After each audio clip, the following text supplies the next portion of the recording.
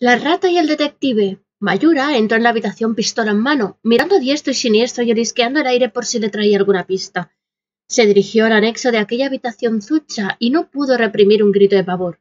Dios, qué susto. habló con la voz entrecortada, observando al pequeño ratón que se afanaba en engullir los restos de una tarta de queso que había ya en el suelo. Un hombre de porte lánguido y enfermizo se le acercó por la espalda, acomodándose el sombrero de ala ancha que llevaba mientras silbaba suavemente una canción.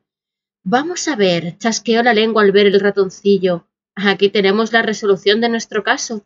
La incógnita de las desapariciones asombrosas que contaba la señora Chester. Eran solo cuentos de vieja.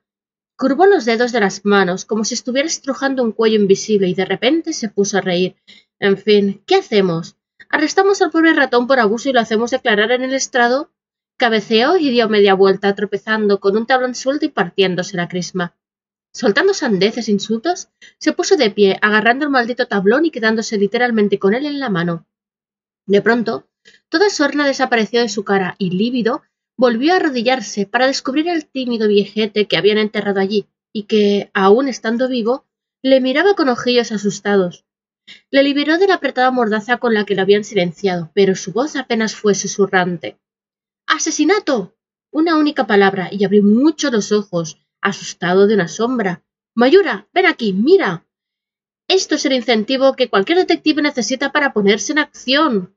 Emocionado, volteó la cabeza buscando la aprobación de su compañera, pero solo vio al infame ratoncillo con los carrillos hinchados. Pero bueno, ¿tú no dejas nunca de comer? Se rió con ganas, y al no encontrar indicio alguno de su compañera, se dedicó plenamente a rescatar al viejete. Se dio cuenta de que el anciano miraba con ojos llenos de un brillo extraño, y una sombra de locura cruzó por su iris, antes de proferir un alarido que le sorprendió por lo potente que era. ¿Y qué pasa si no dejo de comer? Una voz desagradable, áspera, ronca, le heló la sangre, y no se atrevió a darse la vuelta en aquel momento. Solo se quedó observando fijamente el tímido reflejo de las pupilas del hombre, en el que se dibujaba el cuerpo enorme, atroz, de ya no un pequeño bichito adorable aunque molesto, sino el de un ratón de grotescas dimensiones al que solo acertó a ver cómo abría la mandíbula para que, con un lacerante dolor y en cuestión de segundos, su mundo se cubriera de negror. Y aquí acaba la historia de nuestros amigos.